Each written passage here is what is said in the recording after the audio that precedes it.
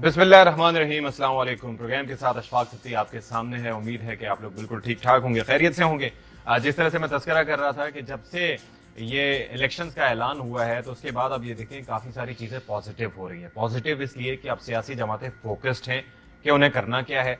Stock market की आप सूरत हाल देख लें कि वहाँ पर एक तो आईएमएफ से मुजाकर और दूसरा ये है कि क्लैरिटी के इंतबात होने जा रहे हैं उसके बिना पर।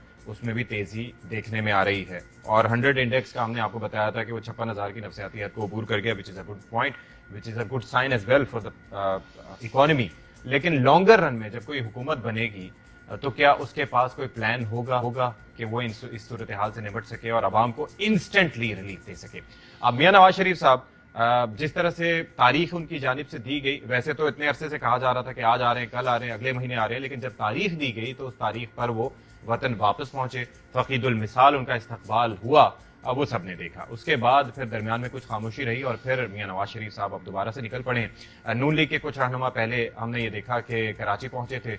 एम क्यू एम पाकिस्तान को साथ लेकर चलने की एक कोशिश की गई। लेट सी के व्हाट हैपेंस देयर फिर बलूचिस्तान में बाप के साथ एक इतिहाद बनाने की अब कोशिश हो रही है। बिस्मिल्लाहिर्रहमानिर्रहीम। अल्लाहुम्मा सल्ली अला मोहम्मद व आले मोहम्मद। देखें ये तो सियासी तौर पर इस तरह की चीज़ें जब इलेक्शन का माहौल हो तो उसमें ये सब कुछ होता है। हम्म, हम्म। हमें ज़रूरत सियासी तौर पर तो अपनी अपनी बात करने की है लेकिन जिस तरह की एक बदतमीजी वाली सियासत या कोई शिद्दत एक दुश्मनी वाली सियासत नहीं होनी चाहिए। एक दूसरे के ऊपर तनकीद हम्म। कर सकते हैं। तनकीद बरए तामीर भी हो सकती है दीगर चीज़ें भी हैं। और अपना मंशूर है अपना हमारा सिंबल है बल्कि आपने देखा होगा कि जब हम हुकूमत में भी थे ये जो कुछ माह वाली हुकूमत थी तो उस वक्त भी पीपल्स पार्टी और पीएमएलएन ने एक दूसरे के खिलाफ इलेक्शन लड़ा। आज़ाद कश्मीर में जो इलेक्शन हुए और बड़े सख्त इलेक्शन थे हम्म। और अल्हम्दुलिल्लाह वो पाकिस्तान पीपल्स पार्टी ने जीता वो इलेक्शन तो ये सिलसिला चलता रहेगा हम्म। देखें मुल्क के हालात की वजह से हमें वो जो एक दूसरे से एक वो जो लेग पुलिंग वाली बात होती है या फिर वो वही एक दूसरे को गाली गालम गलोच वाली उस तरफ़ नहीं जाना चाहिए एक दूसरे पर तनकीद भी कर सकते हम्म। हैं और इलेक्शन वाले दिन इलेक्शन लड़ेंगे भी और बाकी सियासी तौर पर हर कोई अपनी पॉइंट स्कोरिंग करता रहता है। और जब ये इलेक्शन के हम्म। बाद मुल्क के हालात इस तरह के हैं मिसाल के तौर पर हम बहुत पुरुद हैं कि हम एक सिंगल लार्जेस्ट पार्टी होंगे नेशनल असेंबली में और हम चाहेंगे कि प्राइम मिनिस्टर बिलावल भुट्टो जरदारी साहब हों और मेरी इंतहाई मोहतरम बहन मरियम साहिबा उस कैबिनेट में हों। इस तरह और दीगर लोगों से भी कहेंगे क्यों? कि मुल्क के हालात के पेश नज़र हम सबने मिलकर आगे बढ़ना है ताकि एक बेहतरी की सिम लाएँ क्योंकि बड़े मुश्किल हालात हैं। हुकूमत जो भी हो इसी तरह अगर उनको मिलती है हम्म। तो उसमें भी देखा जाएगा इकतदार के लिए नहीं मुल्क के लिए। आपने देखा होगा ये जो अलायंस की गवर्नमेंट थी इन्होंने अपनी सियासत की परवाह नहीं की रियासत की परवाह की। बड़े सख्त अनपॉपुलर फैसले किए गए जिस हालात में ये लोग आए थे और बड़ी इज़्ज़त के साथ डॉक्टर साहब ये बयान अगर सेकंड टीयर लीडरशिप की जानब से आता ना जो कि बिलावल साहब ने अपनी प्रेस कॉन्फ्रेंस में बात की आ, तो फिर हम फिर हम समझ सकते थे कि हाँ जी ऐसी ही बात है। मतलब वो अपनी वजारत के ऊपर फख्र का इजहार कर रहे हैं और ज़ाहिर है कि हम भी सराहते हैं कि जिस तरीके से भारत को उन्होंने जवाब दिया और जिस तरीके से वो सिफारतकारी करते रहे मुल्क से बाहर रहे ज़्यादातर उनके अहदे की एक ज़ाहिर की डिमांड भी यही थी। लेकिन वो ये कहते हैं कि मैं भी अपनी कारकर्दगी की बात कर सकता हूँ दूसरे तो किस मुँह से लोगों के पास जाएँगे? यानी कि एक जानब आप दोनों साथ थे और दूसरी जानब आप अलग अलग करके कह रहे हैं कि जी इतनी तनकीद और वो भी मेन स्ट्रीम यानी कि मरकजी क्यादत की जानब से।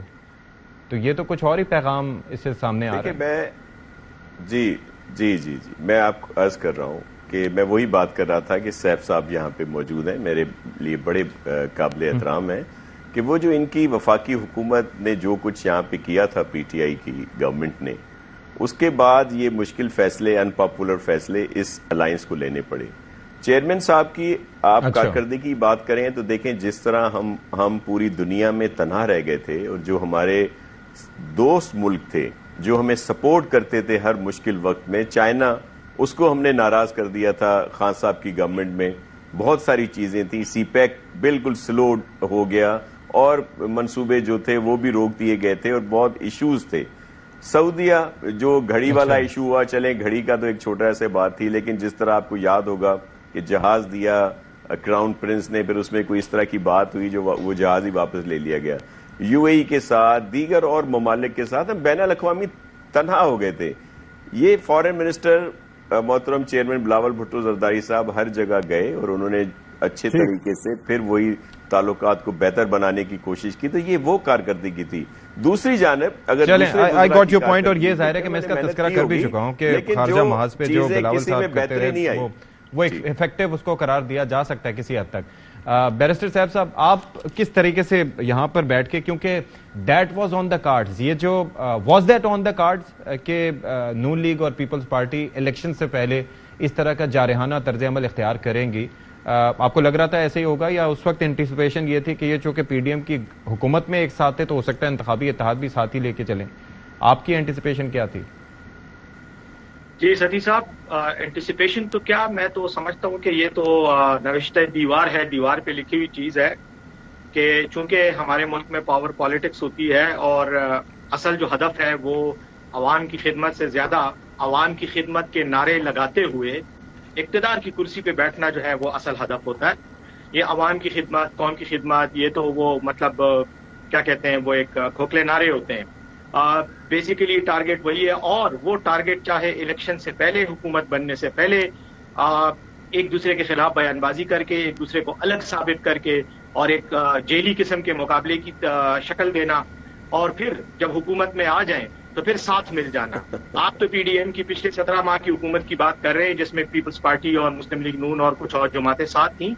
आ, लेकिन ये पाकिस्तान की हिस्ट्री में पहली बार नहीं हुआ। इससे पहले भी अगर आप याद करें तो 2008 में जब इलेक्शन हुए थे तो पीपल्स पार्टी की हुकूमत में जी जी। मुस्लिम लीग के गुजरा थे। तो क्योंकि इकतदार की जब बंदर बांट होती है उसमें फिर सबका मफाद एक हो जाता है। अभी भी मफाद एक ही है लेकिन यह है कि चूँकि रास्ते अलग अलग वो, वो हमें यह भी याद है कि फिर बाद में आगे जाके गवर्नर राज भी लगा था पंजाब में। वो भी याद होगा आपको। तो वो वो इस बार भी होगा ना? देखिए, मैं वही बात करना चाह रहा हूँ कि असल जो हदफ है, वो कुर्सी पे बैठना है और उसके बाद मज़े लेना है। तो मज़े में तो फिर प्रॉब्लम होती है ना, जब आप उस हदफ पे पहुँच जाते हैं, फिर कोई कहता है, मेरा हिस्सा ज़्यादा हो गया, कोई कहता है, कम हो गया, उस पर इख्तलाफात होती हैं और फिर बाद में गवर्नर राज भी लगते हैं और फिर हुकूमतें डिजॉल्व भी होती हैं।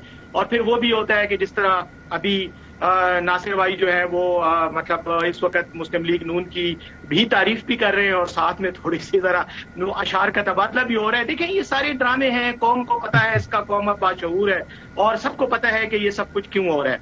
दूसरी बात यह है कि बिलावल साहब अगर इतने ही बेहतरीन वज़ीर खारजा थे तो पहले तो वो वज़ीर खारजा बनने के अहल तो क्या वज़ीर खारजा के वजारत खारजा के दरवाजे से भी ना घुस सकते मेरी तरह अगर वो बेनजीर भुट्टो साहिबा के बेटे ना होते और या जुल्फिकार अली भुट्टो साहब के नवाज़ से ना होते। मसला तो ये ना कि यहाँ तो सारी खानदानी गपशप है हर कोई जो है आके और और उसी को हम रिवायात को हम आगे चलाए जा रहे हैं। जहाँ तक आ, पाकिस्तान की ते, ते, पाकिस्तान तहरीक इंसाफ की हुकूमत की गलतियों का ताल्लुक है या जिस तरह नासिर भाई ने अभी बात की यकीनन पाकिस्तान तहरीक इंसाफ ने बहुत अच्छे काम भी किए कुछ गलत काम भी हुए कुछ गलतियाँ भी हुई।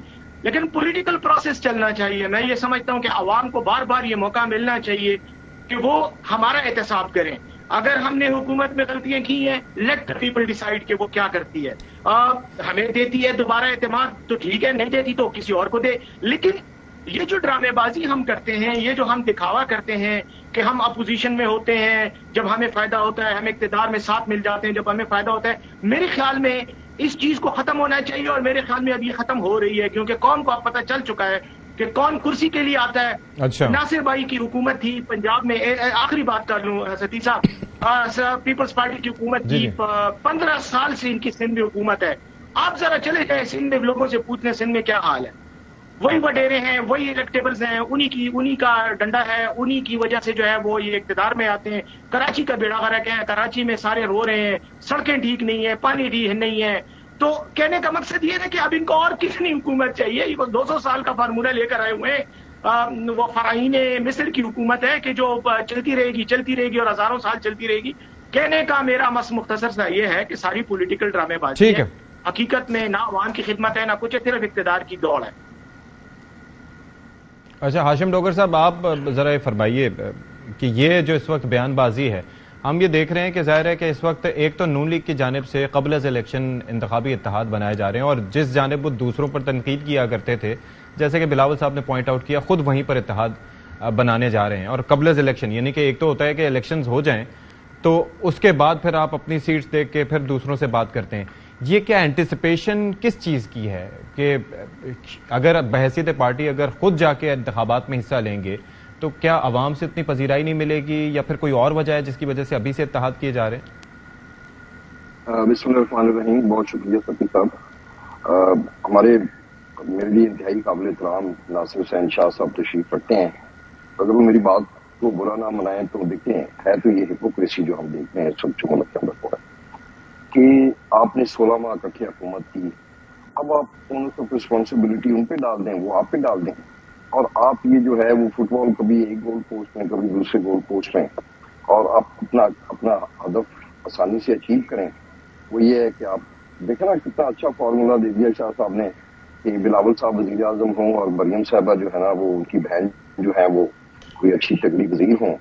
तो बस यही मेरा हाँ। ख्याल है कि अल्टीमेटली एम गोल तो यही है कि ये जो माशाल्लाह बड़े बड़े शाही खानदान है इस मुल्क के ऊपर नाफज रहे हैं।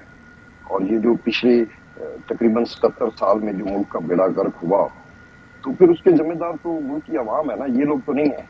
जो लोग इकतदार में रहे और नस्ल, दर नस्ल ये वजारत उजमा किसी ने तीन दफ़ा कर लिया, वो चौथी की ख्वाहिश रखते हैं, किसी ने दो दफ़ा, उन्होंने भी तीन दफ़ा ही किया।